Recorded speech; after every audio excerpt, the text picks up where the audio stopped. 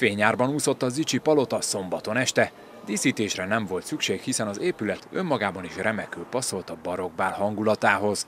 A bejáratnál ajtónálók nyitották ki a kapukat az érkező vendégeknek, a földszinten kialakított barokk kertben pedig néhány fotó is készült a bálozókról. Ez az, most nézzenek ide. Még egyet, egy közelebbit, ide nézzenek.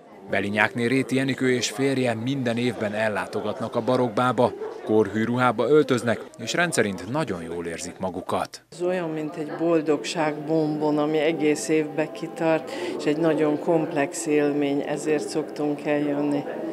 Mik, mik a kedvenc programok? Egyáltalán kivel érkezik?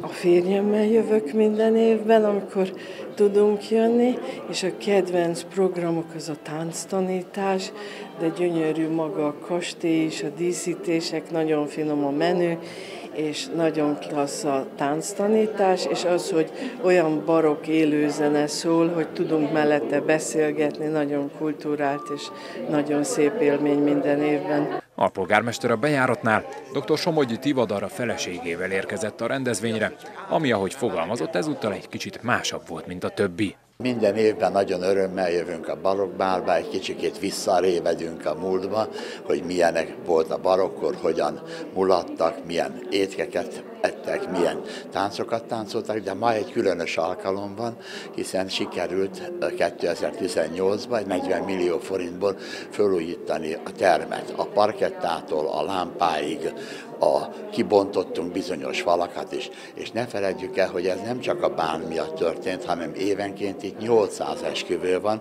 és én úgy gondolom, hogy az esküvőnek a rangját is, meg ebben emeljük, illetve méltó körülményeket teremtünk. Van szerencsém bejelenteni tisztelt bálozó sokadalomnak Fekete Imre urat és Fekete Eszter asszony.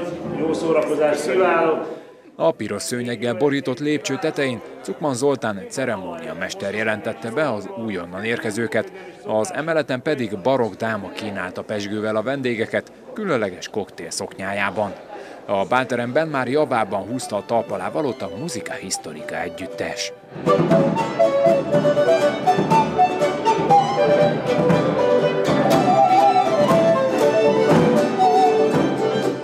A bálozók 90%-a már évek óta részt vesz az eseményen, idén azonban számos újdonsággal kellett szembesülniük, ami a helyszínt illeti.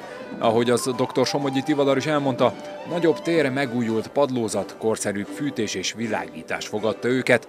A 40 milliós fejlesztést Borkai Zsolt Győr polgármestere adta át. Ez a mostani felújítás mindenképpen azt szolgálja, hogy összenyitva a két termet sokkal többen tudnak bejönni ide, sokkal többen tudják megtekinteni az esküvőket, nem csak tévén keresztül, ugyanakkor pedig eh, természetesen sok olyan kulturális és egyéb eseménynek adhat eh, helyet ez a csodálatos eh, terem, aminek talán eddig nem tudott.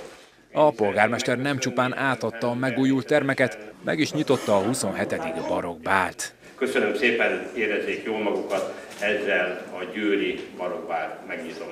Az Est a Győri Nemzeti Színház tánckarának nyitó táncával vette kezdetét, Fekete Miklós koreográfiájával alapozták meg a bál hangulatát, melynek programja idén is színesre sikeredett.